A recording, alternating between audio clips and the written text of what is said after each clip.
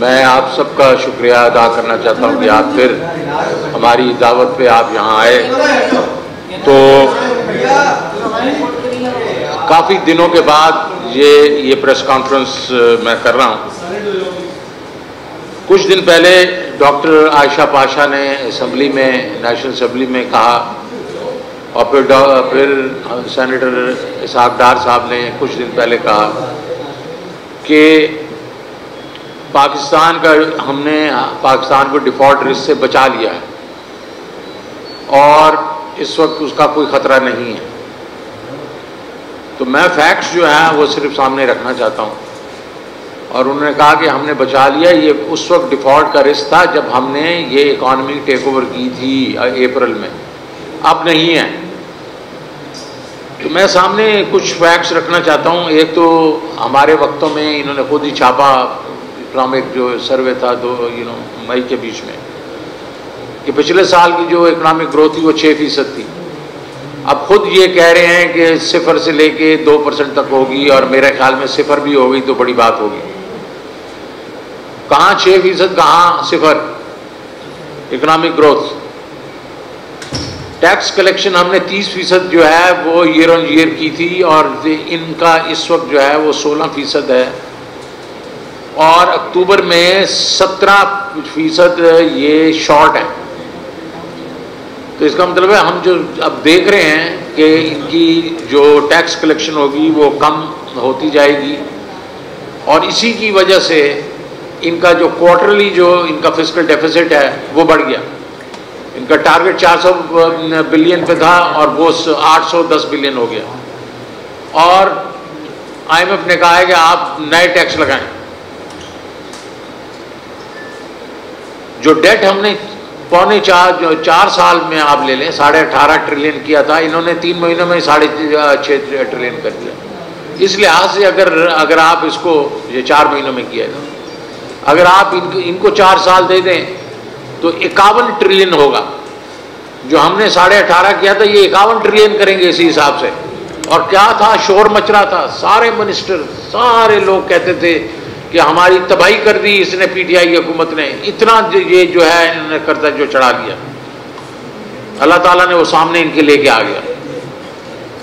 Inflation SPI जो थी, वो मार्च, अप्रैल में 15 फ़ीसद थी।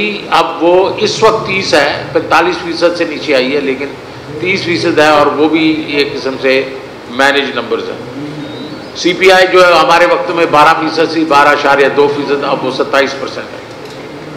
एक्सपोर्ट्स अट्ठाईस फ़ीसद से बढ़ रही थी, इस वक्त दस फ़ीसद से कम है।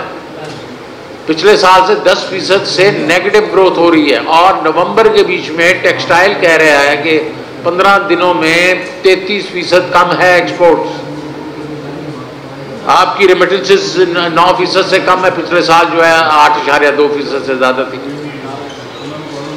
और आरडीए जो 300 मिलियन हर महीने बढ़ रहा था, वो अब कम होगी 100 मिलियन बढ़ रहा है और ओवरऑल जो है, उसमें से आउटफ्लो जो हो हो रही है वो हुई है तकरीबन 700 मिलियन डॉलर से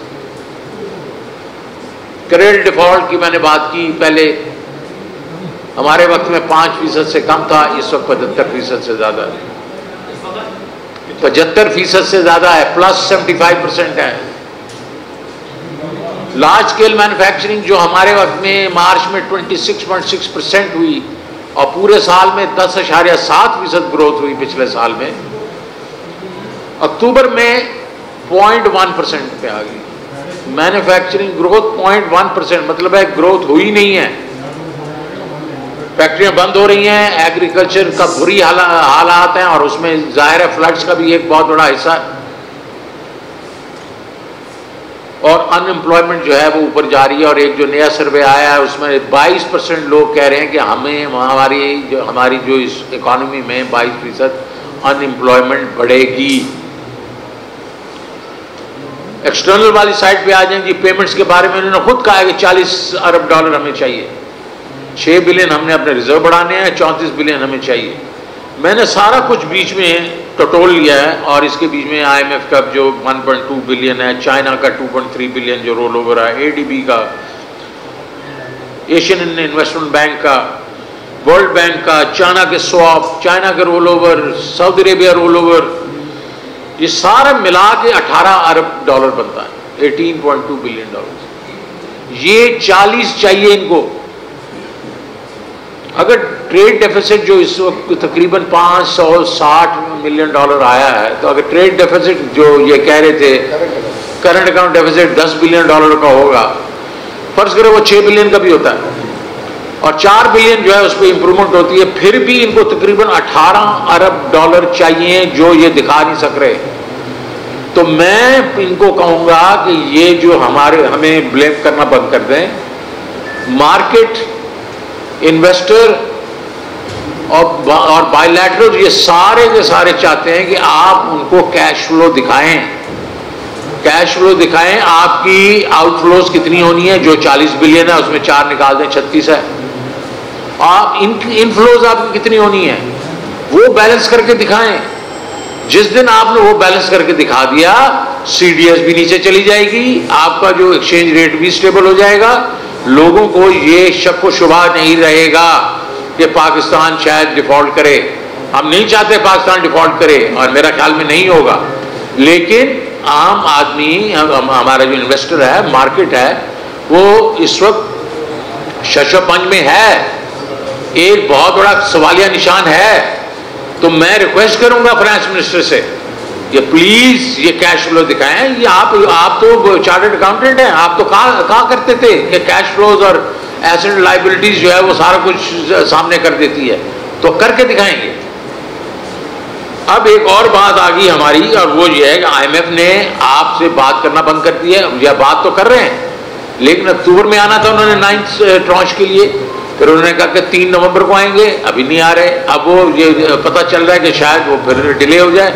शायद जनवरी में आए और आप जब जा रहे थे वाशिंगटन तो आपने कहा था, मैं टर्म्स को रीनिगोशिएट करूँगा क्योंकि ये जो टर्म्स जो की थी मुफ्ता इस्माइल साहब ने, आपने कहा था, ये काफ़ी सख्त हैं।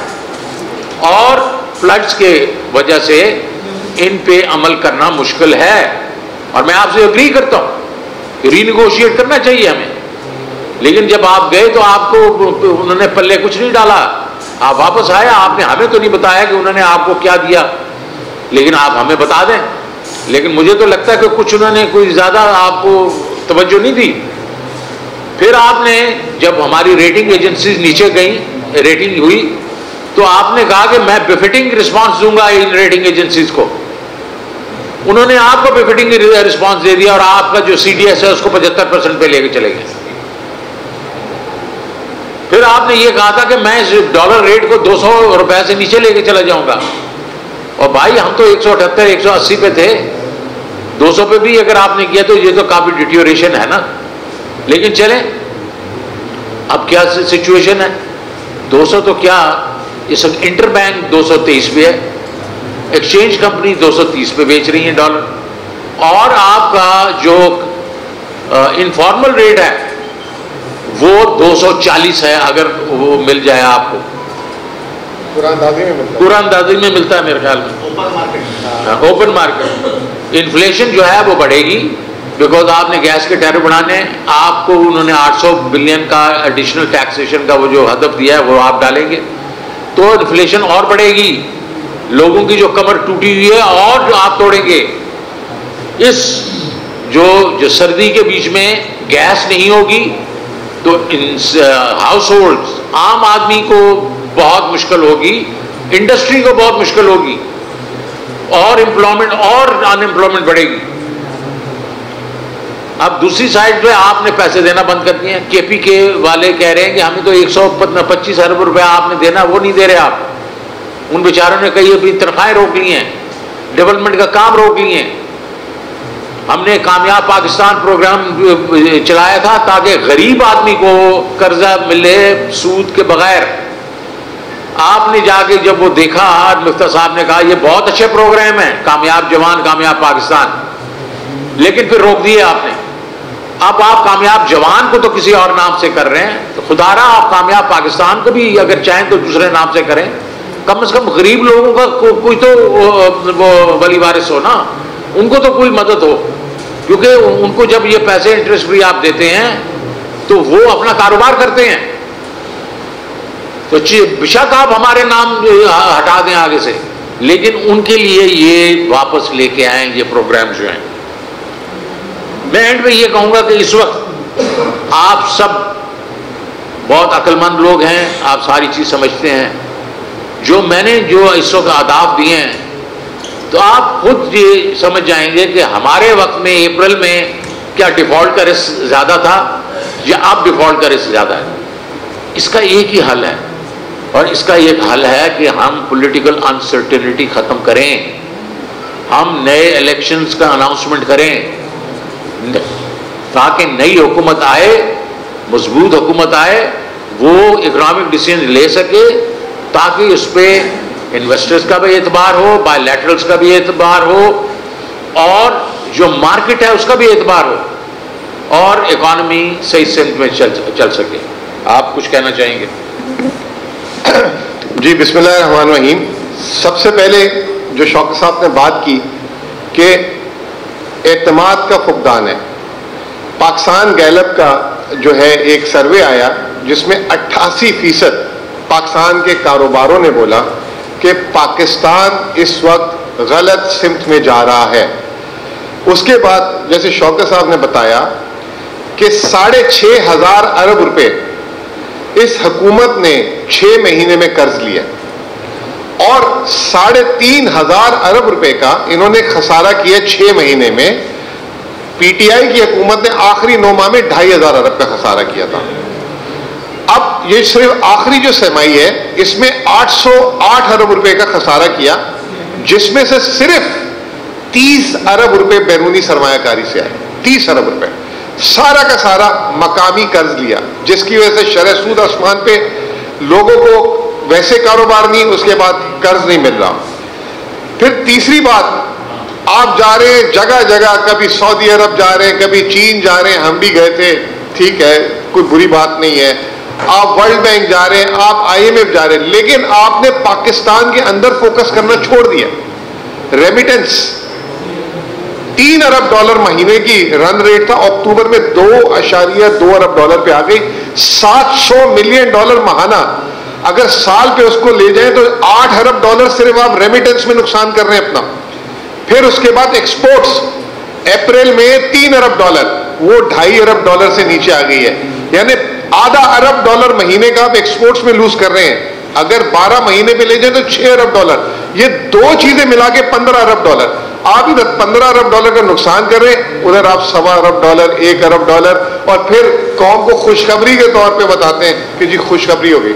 आखिरी बात, पहली दफ़ा ऐसा हुआ है कि आईएमएफ प्रोग्राम शुरू होने के बाद भी माशी इस्तेकाम नहीं आ सका इंस्टेबिलिटी सीडीएस बढ़ रहा है, आपको लेंडर्स आपके डोनर्स आपकी फ्रेंडली कंट्रीज़ कोई पैसा नहीं दे रहा। उसकी क्या वजह? है उसकी वजह यह है, जो शौकत साहब ने बोली पॉलिटिकल अनसर्टेनिटी और कोई इनके पास माशी प्लान नहीं है बहुत बहुत शुक्रिया एक एक एक एक एक एक सवाल हाँ जी और पीछे आप आपने हाथ उठाया जी जी आपने कुछ सारी बातें बताई इनमें से सादा बात ये बता दें कि ये तमाम जो इनकी पॉलिसी है मुल्क दिवालिया हो गया है या उसके करीब देखें जी आप ये दिवालिया वाला डिफ़ॉल्ट वाला जो है ना ये एक बसवर्ड बन गया है पाकिस्तान जैसे मुल्क जो होते हैं वो दिवालिया होते नहीं हैं। हम श्रीलंका नहीं हैं। हम एक बहुत इम्पोर्टेंट मुल्क हैं। जिस वक्त जो हमारा इस लेवल पे हम आएँगे कि कोई हमें शायद दिवालियों वाली बात होगी तो कोई ना कोई हमें आके रेस्क्यू करेगा। लेकिन उसकी कीमत होगी। उसकी कीमत होगी। तो इसीलिए ये आप ये भूल जाए कि कोई दिवालिया होगा। इंशाल्लाह दिवालिया नहीं होगा पाकिस्तान। लेकिन हम जो इस वक्त जो सात साढ़े सात आठ अरब रुपए डॉलर के जो रिज़र्व है हमारे वो ये इंडिकेट कर रहे हैं कि हमारे पास जो आगे जो 18 बिलियन का एक गैप है वो वो है। तो जो हमें पैसे देंगे वो हमारे से कीमत वसूल करेंगे।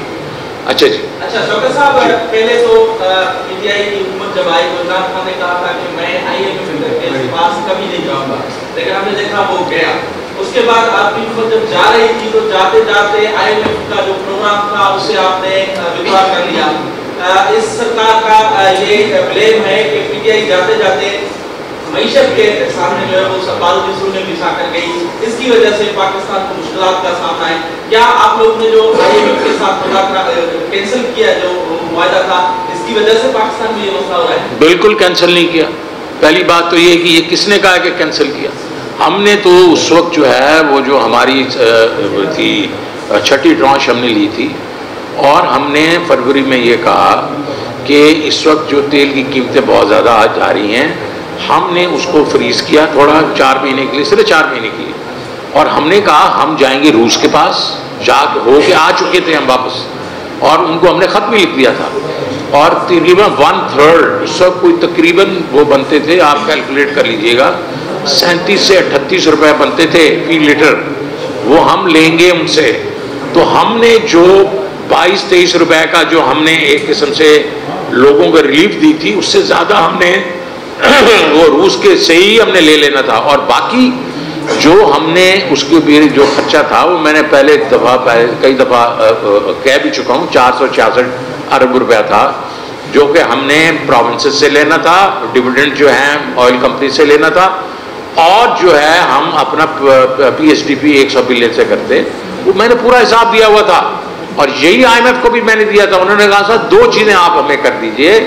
एक प्रोविंसेस से खत लिखवा दीजिए कि वो एडिशन देंगे, क्योंकि उनको ज़्यादा पैसे मिल रहे थे। हम ज़्यादा रेवेन्यू हम दे रहे थे उनको। और दूसरा उन्होंने कहा, कि आप जो ऑयल कंपनीज़ के पास डिपेंड पड़े हैं तो वो आप लिख के दे दें कि वो आपको सवा सौ बिलियन देंगे। यही था। कोई हमने नहीं रोका था। ये और बात है इन्होंने उसके ऊपर जो डिसीज़न लेने थे बढ़ाने के लिए जो बढ़ा देते। हमने तो फ्रीज कर दिया था। एक महीने का सौ बिलियन का उसका बिल था। पीएचडीपी को कम करके वो बढ़ा देते बाद में। ये छह हफ़्ते इन्होंने नहीं बढ़ाया। उसकी वजह से आईएमएफ ने देखा कि इनके ऊपर तो सख्ती की जा सकती है, उन्होंने सख्ती की। हमारी वजह से ये कुछ नहीं हुआ। ना हमने उसको रोका। और बल्कि हमारे बहुत ही अच्छे उनके साथ ताल्लुक थे और अभी भी ये जो क्या नाम है पोर्ट हाँ। जी। उसके उस लास्ट मेरी मीटिंग उसमें उन्होंने कहा था ठीक है जी आपने जो कहा ये हमें दो खत लिख के दे दें। जी। ये डॉक्टर ऑफ़िस समझती की जो आप डिमांड कर रहे हैं इंतखाबात की ये कहते हैं इंतखाबात अनाउंस भी होते हैं मार्च के दौरान अगर होते हैं। अगर फॉर एग्ज़ाम्पल आपकी गवर्नमेंट आ जाती तो तो तो है। देखें ये बात बहुत अच्छी बात आपने की हम उनको ये कह रहे हैं कि इस वक्त पोलिटिकल अनसर्टिनिटी जो है, वो क्यों है? लोग ये कह रहे हैं कि जनाब, इन लोगों ने सैंतीस या छत्तीस इलेक्शन हुए हैं, उसमें से सी सत्ताईस इलेक्शन तो हार गए इसका मतलब पब्लिक तो इनके साथ नहीं है। तो ये हुकूमत पता नहीं कितने दिन रहती है, और अगर इलेक्शन भी होते हैं तो ये आते हैं या नहीं आते तो हम इनके साथ लॉन्ग टर्म मुआदे क्यों करें? हम इन पे क्यों ट्रस्ट करें? तो पहली बात तो सिर्फ़ ये ये देखने वाली है, ये इन्वेस्टर जो है, ये बाहर वाले इस वक्त बायोलैटरल भी ये बातें कर रहे हैं। हमारा कहना यह है कि आप जिस वक्त इलेक्शन अनाउंस कर देंगे तो एक इंटरम गवर्नमेंट आएगी। हम तो नहीं आएँगे उस वक्त। इंटरम गवर्नमेंट को हम हेल्प करेंगे। आप भी हेल्प कीजिएगा, हम भी हेल्प करेंगे। वो एक इंडिपेंडेंट किस्म के न्यूट्रल होंगे। हम सारे मिलकर हेल्प करेंगे उनको। और मार्केट को भी ये किस्म से ये आएगा कि अब इलेक्शन होने वाले हैं और जो लोग अवाम सेलेक्ट करेगी, वो हुकूमत करेंगे। जी।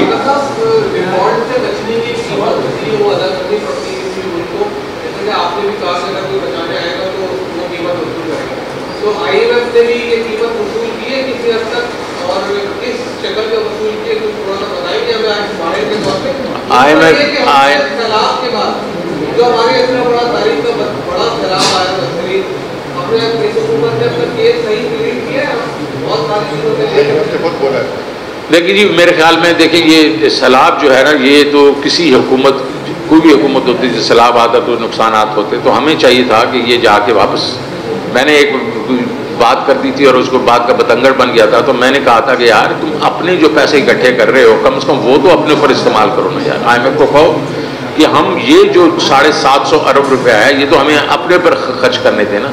तो उसके ऊपर एक बहुत बड़ा स्कैंडल बन गया मैं गद्दार हो गया जो भी है। लेकिन जो आप कह रहे हैं कि आईएमएफ देखें आईएमएफ जो होता है आईएमएफ जो एक आ, एक टूल है एक उसको यूज़ किया जाता है। आई मैं रहा कि कुछ लोग कोई मुल्क करते हैं। तो मैं इससे आगे कुछ नहीं कहूँगा। आपको मालूम है कि हमारे से क्या हमारे ऊपर लोग कहते हैं कि क्या क्या चीज़ें हमें करके दें। और हम जो हैं एज ए खुददार नेशन हम कहते हैं, नहीं, ये हम चीज़ें नहीं करेंगे। लेकिन हम उस लेवल पे ना जाएँ कि हमें मजबूर हो जाएँ वो चीज़ें करने के लिए। जी। जी जी, बिल्कुल मैं बता दूँ। मैं अप्रैल में आया था और उस वक्त 500 अरब डॉलर हम ले चुके थे।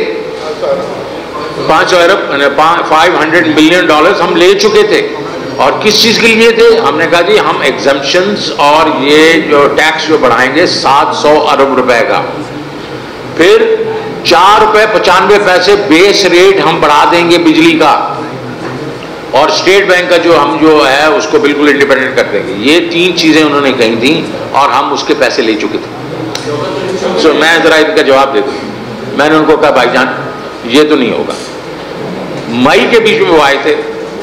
हमने जाके मुआदा फिर किया था जनवरी में। कितने महीने हो गए? आठ महीने। आठ महीने तो मैं खड़ा रहा ना। मैं तो नहीं बीच में बैठा। मेरे घुटने जो है नहीं हिले। और उनको फिर मेरी बातें मानने पड़ी। साढ़े सात अरब, सौ अरब से वो साढ़े तीन सौ पे आए। वो चार अशारिया नौ पाँच रुपए से दो रुपए और पचास पैसे पे आए। उनको मैंने आधा आधा करवा दिया। और स्टेट बैंक की भी कई ऐसी शिकें थी जो कि पार्लियामेंट ने कहा हम ये एक्सेप्ट नहीं करते। सर और डिफ़ॉल्ट भी नहीं हुए और रिज़र्व भी बढ़ाए। हाँ, अच्छा तो मैं सिर्फ़ ये कह रहा हूँ कि अगर आपके पास तप्पड़ हो ना तो आप खड़े हो जाते हैं। ऐसी बात नहीं है। आँख में आँख अब तो कह रहे हैं ये आँख में आँख डाल के मैं करना चाहता हूँ। तो करें ना यार जरा थोड़ा सा जी सर।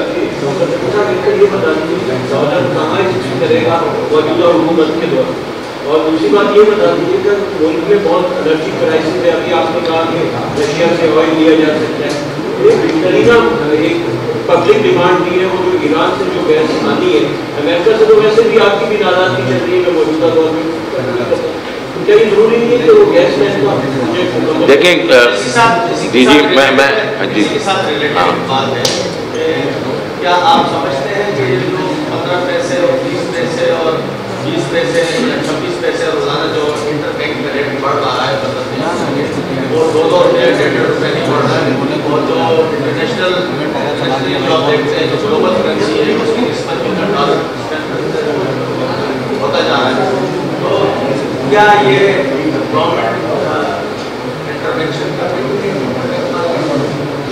अच्छा देखें पहली बात तो ये है कि जो डॉलर के ऊपर आपकी बात है कि देखें इस वक्त इंटर बैंक में और आपके जो इनफॉर्मल रेट है, जो 240 पे, अब बहुत बड़ा फ़र्क हो गया।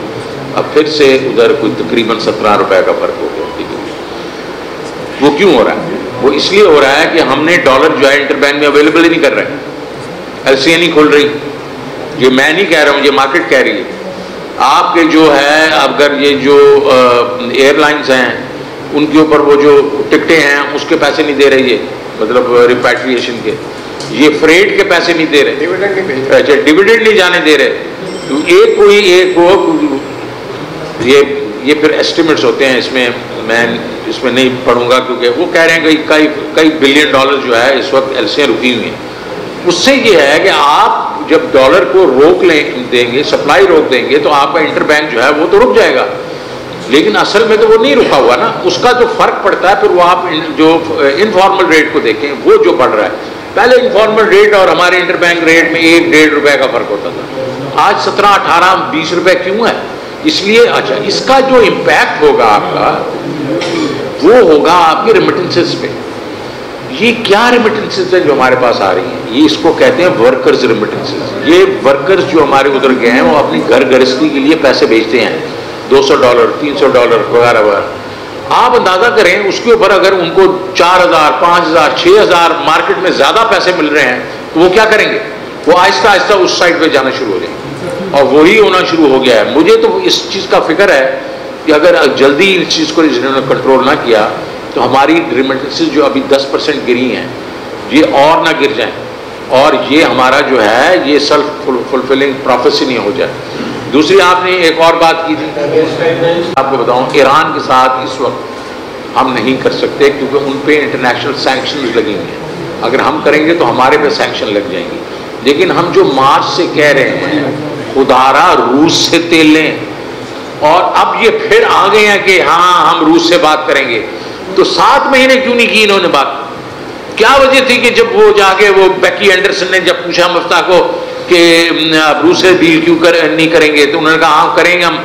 हम गंदम खरीदेंगे उनसे। उसने कहा गंदम पे तो आपका ख्याल है सेंक्शन नहीं है। तो तेल पे किधर से सेंक्शन होगी? तो अब तो ये मालूम हो गया ना कि अमेरिका भी कहा है कि आप लेना चाहते हैं ले लें। उस वक्त भी अगर हम खड़े हो जाते जिस तरह इन्होंने कहा कि हम खड़े हो जाते थे अपने अपने मफाद के लिए तो आज हमें ये जो पैसे जो बढ़ाने पड़े लोगों के ऊपर हमने बोझ डालना था वो ना डालना पड़ता। तो मेरे ख्याल में ईरान इस वक्त आउट है रूस के पास में जाना चाहिए। जी। या शेरियार कर लें फिर उसके बाद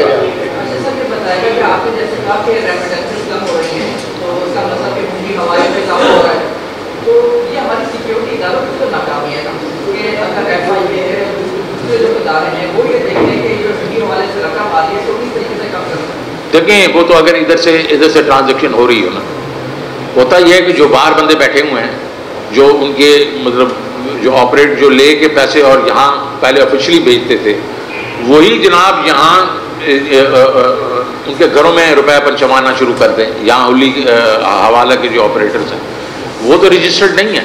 तो हवाले को रोकना जो है वो बहुत मुश्किल है। वो हमने जो मैंने पीआरआई बनाया था, उस वक्त मैंने बनाया ये था, इसलिए नहीं हुआ कि वो आना शुरू हो गए थे। मैंने कहा था कि ये हुंडी हवाले के पास क्या ऐसी एडवांटेजेस हैं जो कि ऑफिशियल रेट में नहीं है कि वो जा रहे हैं हुंडी के पास? उसमें एक था कन्वीनियंस 24 घंटे में पैसे मिलते थे। रेट उसका रेट का था। और उसमें ये भी था कि वो वहाँ के जो बैंक उगा रहे थे, वो कई दफ़ा क्या कहते थे, वक्त पे पैसे भेज देते थे, उनसे बाद में पैसे ले लेते थे। ये सारी चीज़ें करवाई गई थी। अब जब रेट बहुत बड़ा फ़र्क पड़ जाए तो वही फिर से एक्टिवेट होना शुरू हो जाएँगे। उसमें ना एफआईए जो है ज़्यादा कुछ कर सकेगी, ना वो किस किस ना जाएगी, इतने हज़ारों, लाखों घरों में जाके उनके पास रेट करेगी, कि तो आपके पास ये रुपया कहाँ से आया? और ये वो लोग हैं जो टैक्स भी नहीं देते। तो मेरे ख्याल में ये करना मुश्किल है इसको इकोनॉमिकली हमें संभालना पड़ेगा। जी।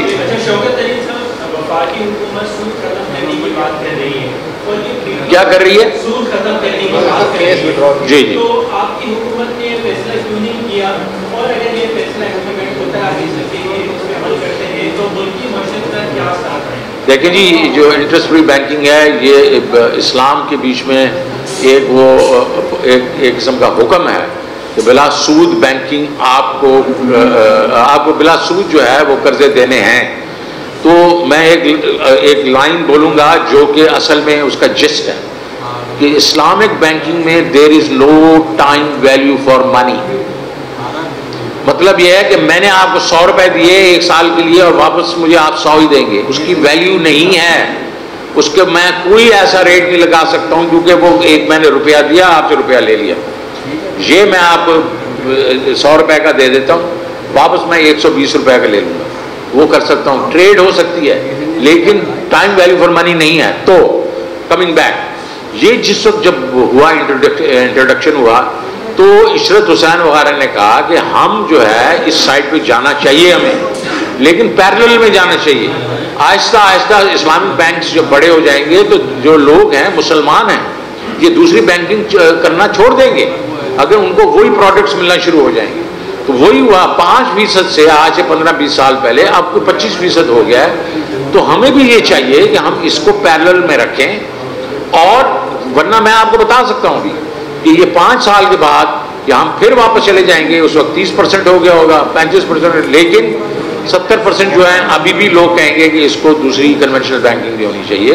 तो मेरे ख्याल में दुनिया के बीच में ये जो बहुत सोफिस्टिकेटेड प्रोडक्ट्स आ गए हैं डेरिवेटिव्स आ गए हैं, इस किस्म के बाकी चीज़ें आ गई हैं सॉप्स हैं वगैरह तो ये जो है, इसकी हमें प्रोडक्ट्स जो हैं बनानी पड़ेंगी और दुनिया में अभी तक नहीं बनी इस्लामिक बैंक बैंकिंग में।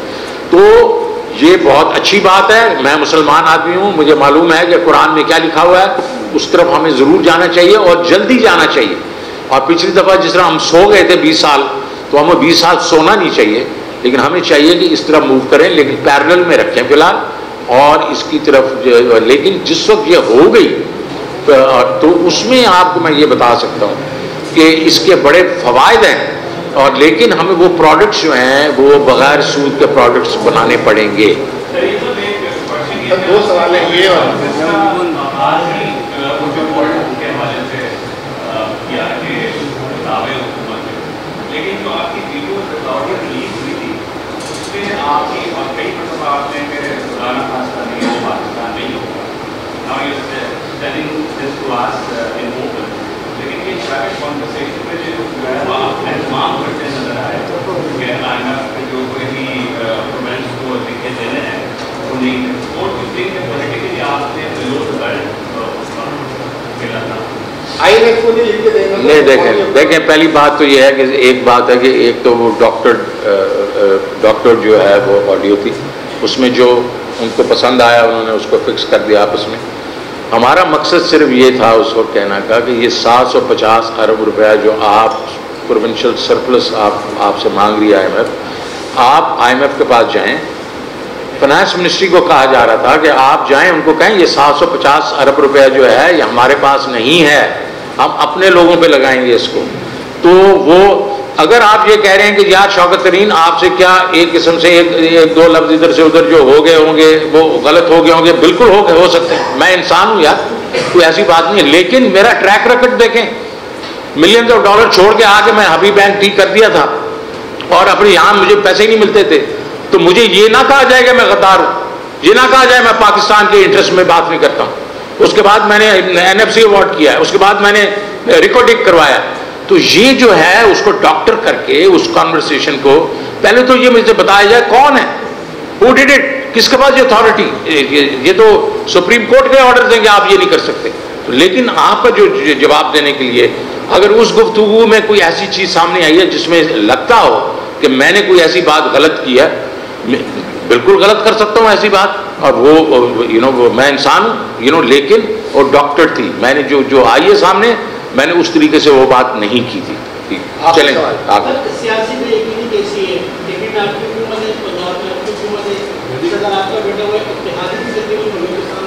है? आप वही काम करें कि वो नॉन पॉलिटिकल ला के उनको बाहर निकाले जैसे उन्होंने आपको निकाला था।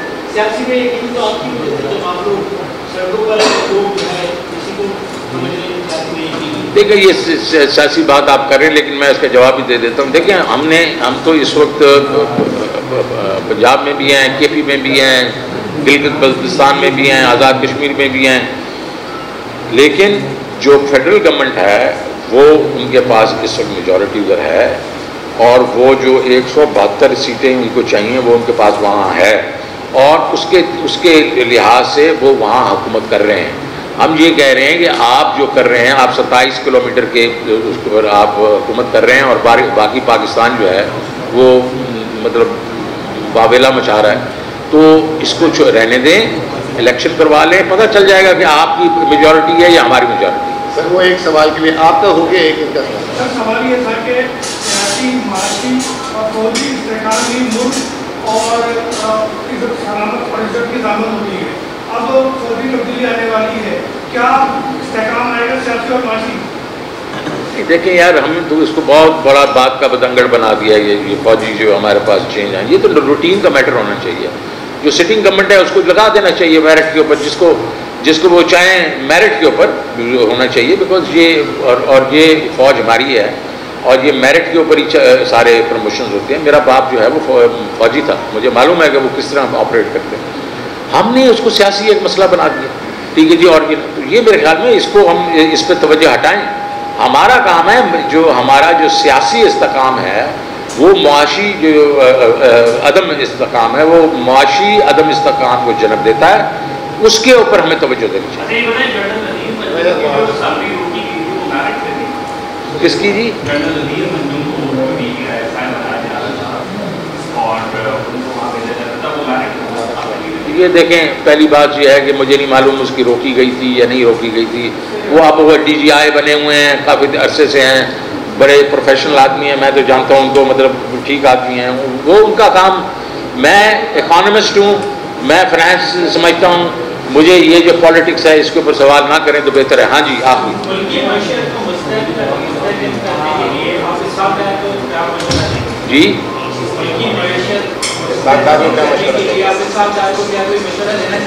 मैंने सागदार को उस दिन बैठ के मैंने कुछ तजावीज दी हैं और मैंने उनको कहा है कि तीन चार चीज़ें आप करें। ये इस वक्त जो है, सबसे बड़ी चीज़ जो है सामने आ रही है, वो ये आ रही है कि मार्केट देखना चाहती है, उस कैश फ्लोज को, आपकी आउटफ्लोज जो 40 बिलियन जो है, उसको मैच करने के लिए इनफ्लोज कहाँ से आएँगे? आप अभी ये भी दिखा देंगे, जी हमारे जो है करंट अकाउंट डेफिसिट कम हो रहा है तो वो छत्तीस बिलियन है। तो 36 बिलियन का हिसाब बता दें मार्केट को प्लीज़ तो मार्केट एकदम स्टेबलाइज कर जाएगी। उसको भी मैंने बताया कि इसको भी कैसे करना है, वो भी मैंने कुछ तीन चार तजावीज दी थी इनको। रूस से जाएँ, रूस से तेल ले लें। उसके बाद अपने जो बायोलैटरल्स हैं, जिधर 28 बिलियन का आपका डेट है, जिसमें चाइना सबसे बड़ा है, तेईस बिलियन है, उनके पास जाएँ, उनको रीशेड्यूल करवाएँ। बहुत ज़रूरी है ये जिन्होंने आपको इस वक्त जो कज़न ये सारा कुछ आपके ऊपर बोझ डाल दिया है, आई एम वगैरह ने वर्ल्ड बैंक वगैरह उनके पास जाएँ। जनाबे वाला, आपने हमारे पे बोझ तो डाल दिया है, आप इस तरह करें कि 10 अरब डॉलर जो है इस साल में आप जो दे रहे हैं, उससे ज़्यादा दे दें। वो 10 अरब डॉलर वहाँ से लें 10 अरब डॉलर वहाँ से रीस्ट्रक्चरिंग करवाएँ। सात आठ बिलियन आपको रूस से मिल जाएगा। कितने पर बन गए? छब्बीस सत्ताईस बन गए कि नहीं बन गए? तो करने वाले बने ना यार। Thank you very much